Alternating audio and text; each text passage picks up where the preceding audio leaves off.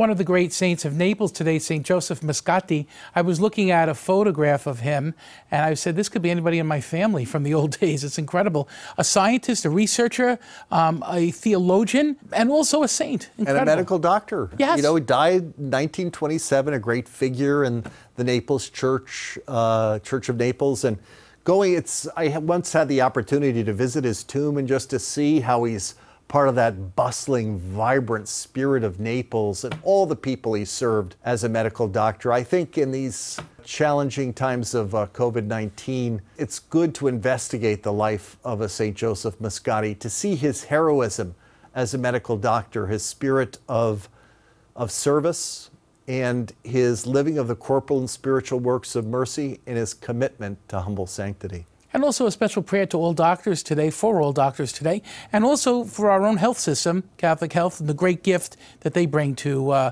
to so many, to millions of people. Exactly. And how a great doctor uh, like St. Joseph Moscati, how everyone around them benefits from their holiness, their spirit of mercy, their competence and expertise. We uh, give thanks for all, all the doctors of Long Island who've been so heroic in these days. Absolutely. St. Joseph Moscati. Pray for Pray us. For us.